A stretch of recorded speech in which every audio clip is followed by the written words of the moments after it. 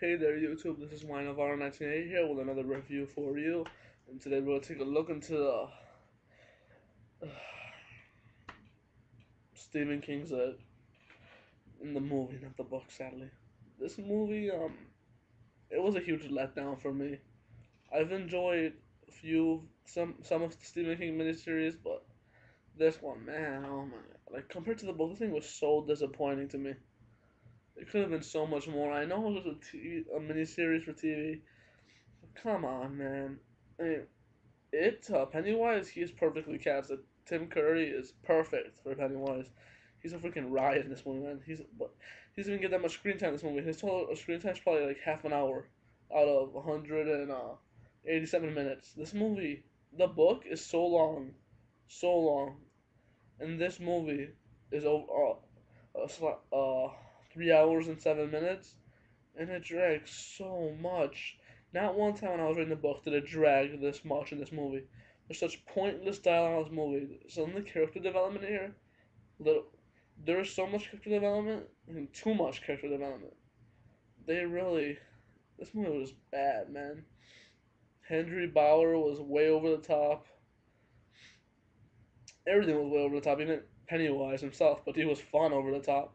But this movie, man, like I just really couldn't get into it. The the finale, the finale of this movie was so boring, man. I mean, not boring. Now, well, was boring, but it, it was such a letdown. It was like it was a fail of epic proportions. I really did not enjoy the end of this movie at all. Um, I bought it. It was a blind buy. I heard it was bad. And I'm like, yeah, it can't be that bad, but shit was I wrong. This movie was just terrible. I've seen it twice already, and that's six hours and 14 minutes I'll never get back. This movie, man, this wow. Wow, man, this movie was just bad, like beyond belief. I couldn't really get into it at all. There were a few things I actually enjoyed, like when uh, with Tim Curry in the library, with uh, I forgot his name, but um, but that was like the only enjoyable part of this movie.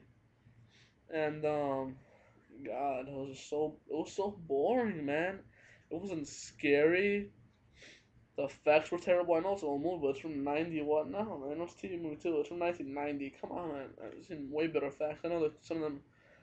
I've seen way better TV movie effects for t- for um the nineties than this movie. This movie had terrible effects. Um, Freddy's Nightmares, for instance, didn't that come out in the eighties, early nineties? The freaking effects on that were way better than this. That's for sure. Effects were freaking terrible, man. Like, I really didn't like this movie at all. It had a few redeeming factors, but very slightly. The book is one of the best books I've ever read. And in my opinion, this movie raped that book hard. This movie just. I really didn't like it at all, really. I mean, I thought about it and I don't really like it at all. There's just a few things I like about it. And uh, Tim Curry was definitely the highlight of this movie. He stole the show in this movie for me. I really enjoyed him in this movie. But the ending, man, when he turns into a giant spider, that's stupid, man. The original movie was badass. He like laid eggs and everything. Freaking original book was actually scary. This one, all it does before he actually tries to kill someone near the end of the first half of the movie in the sewer, all he freaking does is say you're gonna float and show his teeth. Oh, that's so scary. Shit. God. This movie just. If you're curious enough, check it out, but I'm really not at all a fan of this movie. I give it, I'll give it one out of four stars, just cause, just for Tim Curry. And if they do, make, I've heard there's a lot of rumors about a remake, and if they do remake the movie, I want Tim Curry to come back as Pennywise. I want it to be a lot more serious and I want it to be a, a, more darker movie than this was. This movie was a joke. I don't even think they showed his monster hands like that. Yeah, his monster hands right there. I don't think they showed those in the movie.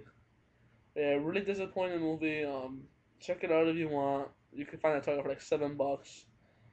But this is YNavarro 1980 here saying goodbye, YouTube.